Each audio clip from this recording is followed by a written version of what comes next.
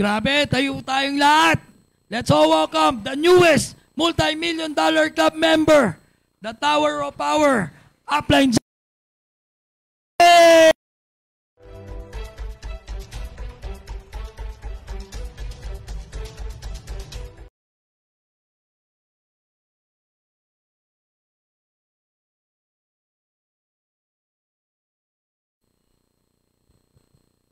Yan. Good morning. Oo. Meron ba tayong guest ngayon dito? Sino bang guest natin today? Yung hindi pa member. Ayun, si ma'am. Oo, mga ilang piraso sila, no? Welcome to iFern. Oo, we are so happy, no? I heard uh, sa sobrang busy ng mga tao kampanya, no? Kailan ba election? Monday. So last day today ang kampanya, tama ba? Oo, kaya sobrang busy ng mga nangangampanya, no? At sobrang traffic daw ng mga ah, kandidato, no? Kaya at least nakarating kayo. Maraming maraming salamat, no? And welcome and congratulations. Oo, kasi ayun, priority nyo, no? Yung pagyaman kaysa pag ano, no? kaysa other things, di ba? Oo, and yung mga umattend din dito gusto mag-training, di ba? Gusto makakita ng RBA. Tama? Oo, congratulations din. Anyway, sino ba si Upline Zach, no? Oo, nakikita na lang kasi yung video ng bahay, di ba? Mga sasakyan, alahas, income, awards. Pero si Upline Zach, before iFern, hindi naman mayaman. Oo, hindi ako lumaki sa ganung kagandang subdivision, no? Hindi rin ako graduate ng Ateneo Lasal UP. Just an average Filipino, dating call center agent. Hindi rin ako naging supervisor, hindi ako naging manager. Ang tanong upline, Zach, paano ba naging ganyan ang income mo? Paano ka ba yumaman? Oo. Number one, syempre, sa ganda ng iPern. Oo. Number two, sa ganda ng iPern. Number three, sa ganda ng iPern. 99 sa ganda ng iPern. At sa pang 100 sa ganda ng iPern. Yes, bakit? Sino ba naman ako nun? Di ba? Just an average college uh, ano, graduate na naging call center agent, di ba? Oh, nung pinakita sa akin to, duda rin ako. Oo. Hindi rin ako halos maniwala. Kasi hindi naman ako lumaki sa ganyan eh. Ano, yayaman. Wala naman nagsabi sa akin pwedeng yumaman eh. Bakit? Kasi yung angkan namin, hindi rin mayaman. Tama? Oh. Ang maganda lang, si iPern, meron siyang proven system. Walang pinakaiba. Oh, nag-franchise ka ng Jollibee, McDonald's. Kahit wala ka alam sa sandwich, wala ka alam sa burger, wala kang alam sa Sunday, eh sigurado kikita ka pag nag-franchise ka. Kasi ang franchise mo doon ng 50 million pataas is yung sistema nila. Tama? Ganon din kay iPern. Maliban sa beauty products, sa supplements, meron siyang proven system. At yon yung bibilin mo. No. Libre yung negosyo. Akalain mo ganda, di ba? Bakit? Kahit wala ka alam sa network marketing, wala ka alam sa sabon. Same as pag nag-franchise ka ng Jollibee McDo, kikita ka na malaki. Just follow the system. Kaya nung narinig ko yun, alam mo yun, even skeptic, even alam mo yun, hindi ako masyadong ano, hindi ako masyadong naniniwala. Sabi ko, try ko lang. Bakit? Sa buong buhay ko, wala naman na nga kung pwede ako yumaman. Wala naman pwede magbago boy kasi magkano la sweldo ko? 15,000. Akala mo 15,000? Pag kinain ko yun, hanggang dito lang eh. Laki ko eh. Di ba, kinsenas katapusan magkano, may deduction pa. Oh. So, ibig sabihin kapatid, sabi ko sa sarili ko, wala nang mawawala sa taong wala. Oo, simple lang ang math ko, less than, greater than. Eh. Oh, paano less than, greater than? Sa 15,000 a month sa call center, palagay mo, may chance ako yumaman? Wala. Zero. Dito maaaring 50-50. Eh, ano mas mataas? 50-50, zero. Oh, di, sabi ko, simple lang ang math ko, try ko lang. Oh, lalo na wala namang mawawala. Bakit? May kapalit naman agad-agad eh. Diba? Oh, yung kapalit, benta mo, gamitin mo, hindi panalo family mo. Ano na wala? Oh, may mas mawawala kapatid pag di mo trinay. Oo. Kasi sayang yung opportunity. Lalo ngayon, pag tinignan mo, konti pa ng tao, wala pa tayo 1% sa Pilipinas. And ganun nga kabait ang ano natin, may-ari natin si Sir Tom at si Madam Kim. Even though wala pa tayo sa 1% sa Pilipinas, nagbukas na ng Bahrain, Africa at Dubai. Oh. Grabe opportunity, di ba? Oh. So ibig sabihin kapatid, sobrang panalo ka dito. Oo. Kasi, again, pagbaba mo, kuha mo agad yung produkto eh. Alam mo, may binili ka. Para ka lang nag-grocery. At yung grocery mo, di ba? Eh, kapatid, may libre negosyo. Panalong panalo. Sa iba, pag nag-grocery ka, may libreng card. Di ba? Ah, ah, ah. Dito may dito may libreng pangarap, may libreng negosyo, may proven system. Oh. Kaya nung present sa akin to, hindi ako nakatulog. Dito to. First time in my life na na-realize ko, pwede pa palang umasenso. Dati kasi akala ko pag aasenso, dat politiko eh. Oo, di ba? Oh. Meron pa palang ganito. At ang gagawin ko lang, i-try ko lang. Di ba? Kaya nga nasira ulo ko eh. Mm. Talaga nabuwang ako. Paglabas ko, tingin ko sa tao, 1.6. Ah, ah. First time in my life eh. Di ba? Oh. Kaya nga nag-invite ako 30 agad-agad. Oh. Good news, 28 din agad-agad. Oh, di ba? Ang tumanggi. Huh? Oh, kalai mo, di ba? Oh. Oh, yung iba doon, dinala ko dito, pumapalakpak. Maganda, oh. Diba, pwede umaman, mm, mm. Diba, sali ka, mm. Diba? Ah, ang kulit, no? Oh. Meron pa ako inintay dyan, 3 hours. Oh. After 6 months, nakita kami, sabi ko, inintay kita tatlong oras, ba't di ka dumating? Sabi, bro, na traffic lang. eh. Oh. Alaim yun. Oh, meron nga akong kaibigan, alam ko tambay, pinuntahan ko sa bahay nila eh. Oh, busy daw kasi siya. Nung inabutan ko, nakataas yung pa, nanonood ng TV. Eh. Busy daw siya eh. Sabi ko, Pinoy Big Brother. Naku po, may magiging milyonary dyan, pero hindi ikaw. Sabi niya, bakit? Eh, hindi ka na makasali. diba? Oh. So, ibig sabihin kapatid, marami. Oo, wala itong pangakuan. Hindi to kagaya ng ibang kumpanya na papangakuan ka ng langit at lupa. Ito totoo lang. May tumanggi. Oh, pag uwi ko ngayon, nanay ko eh. Sabi ko, Nay, yayaman na tayo. Anak, gutom lang yan. Yeah. Oo. Di ba? Grabe yung makatawa si ate, no? O mag masyado, ano, huli akong nag-present, eh, yung postiso. Oh, di ba? Oo. Yung Tatay ko sabi, anak, papunta ka pa lang, babalik na ako. Ano naman yung pinasok mo? Ah, gano'n. Hmm, sabi ko nga sa best friend ko, kikita kami 1 million naman. Eh. Kaya ano ba sindikato pinasok mo? Di ba? Oo, may hindi naniwala. In all honesty. May tumanggi, may nang asar pa. Oo. Pero sa dami niyan, imposible, hindi ka makahanap ng dalawa man lang. Oh. Hanggang sa nakahanap ako ng dalawa, dalawang babae, dalawang maganda, sexy. Oh, di ba? Sexy, no? Oh. Lapad pala eh, na? Joke lang. So, ibig sabihin, yung dalawang yun, nagpa-reject lang din ng 28 times hanggang makahanap ng dalawa. Dalawa, naging apat, naging anim, walo, sampu, hanggang naging libo kami. Ganun lang pala siya. Ah, ah, hinahanap mo lang yung tamang tao para sa'yo. Hinahanap mo lang, di ba, yung tao na kagaya mo mag-isip. Yung gusto rin magbago ang buhay. Di ba? Napagod, napagod din ako. Napuyat, napuyat din ako. Oo, pero sulit yung kapalit. Kasi sa call center, napagod din eh. Sa call center, napuyat din eh. Oo. Pero 15 mil kapalit. Dito, 5 million naman. Ah, di ba? Oo. Kaya kapatid, kung ikaw, kagaya namin may pangarap, welcome na welcome ka dito.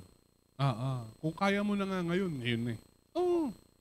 Tumatanggap kami ng cash, credit card, cheque. Yung kalabaw, di ko alam ha. Ah, gulay, di ba? Kung ipapalit ha, hindi ko alam. Ha? Oo, pero cash, cheque, at credit card, tumatanggap kami. Oo. Kasi kapatid, ikaw ang reference nung taong i-invitein mo. Mm-mm.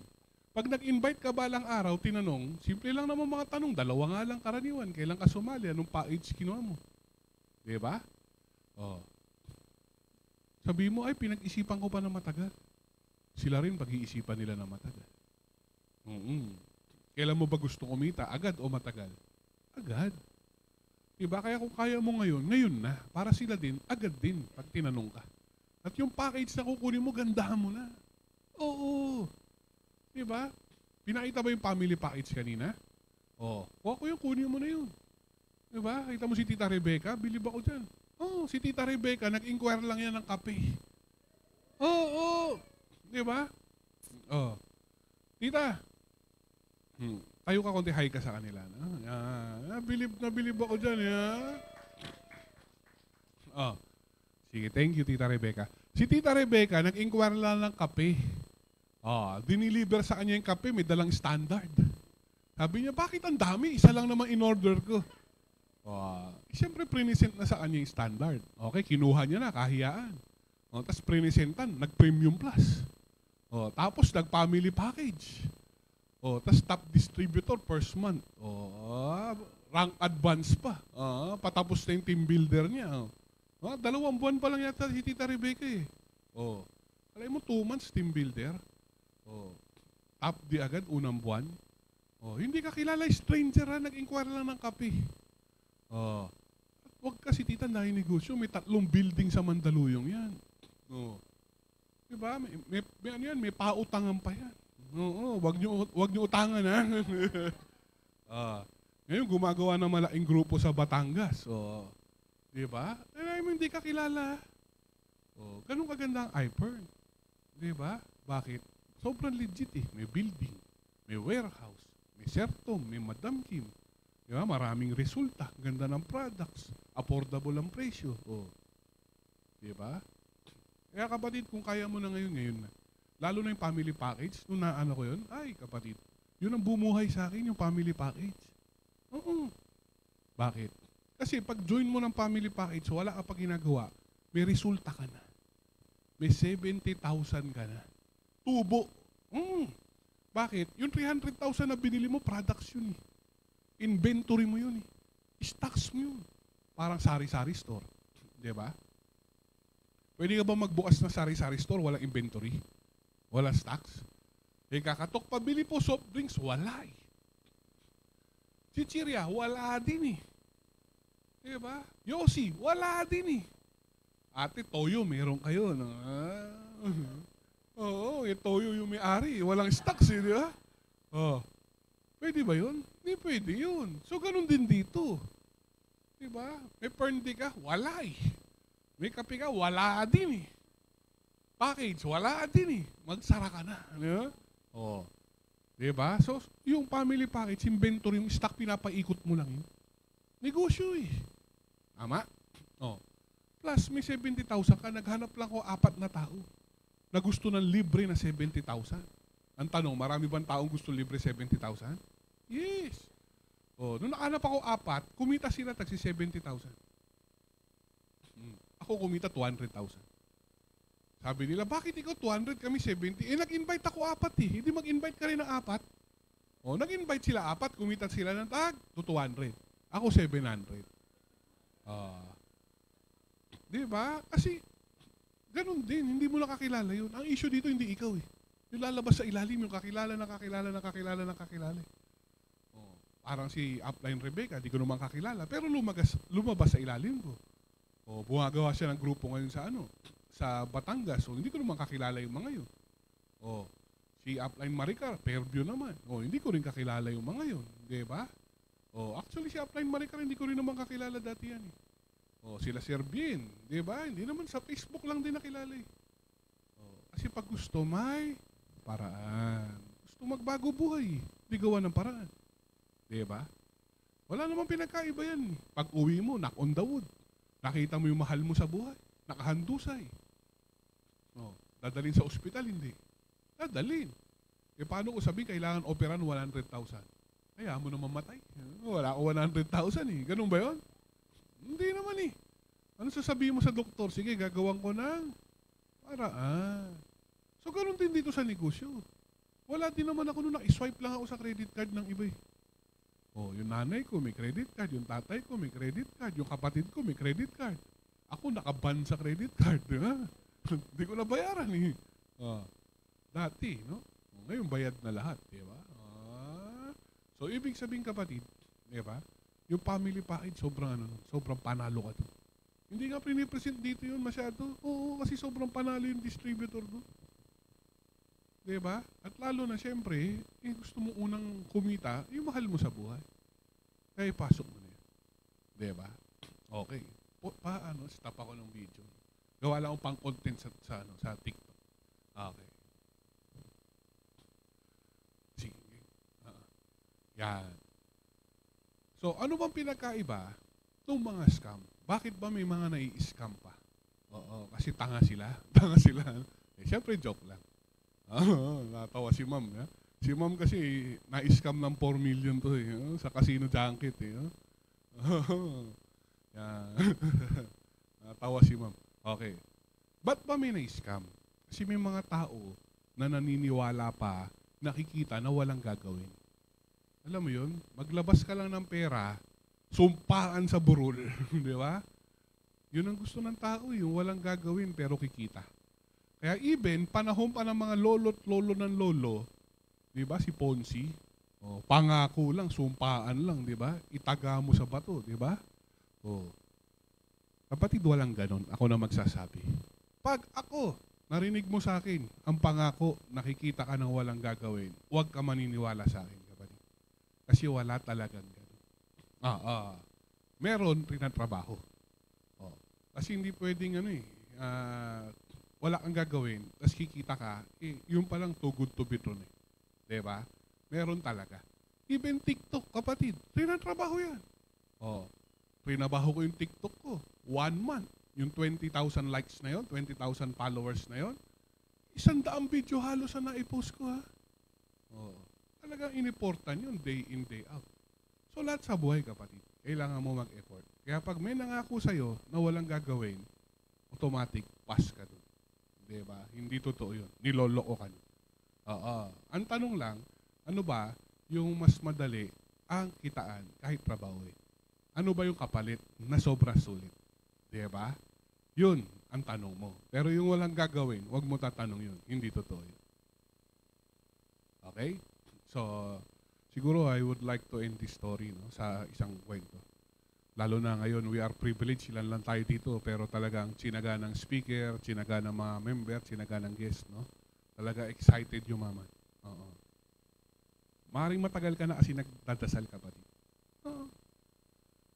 Ang Panginoon, di naman bababa dito, di ba? Pag bumaba yung anghel dyan, nakalutang, baka tumakbo tayong lahat. Eh. Oo. Magpapadala ng opportunity. Same as do sa kwento ng lolo, no? Sa Pangasinan. Ano yun? Eh, nung lolo daw, nagkaroon ng signal number 3, pinapalikas lahat. Oo. Nagpadala ang gobyerno ng truck. Lo, lumikas na kayo. Tumataas na yung tubig. Ang sabi niya, hindi ako pababayaan ng Panginoon ko. Totoo naman, never naman tayo pinabayaan ng Panginoon. Tama? O.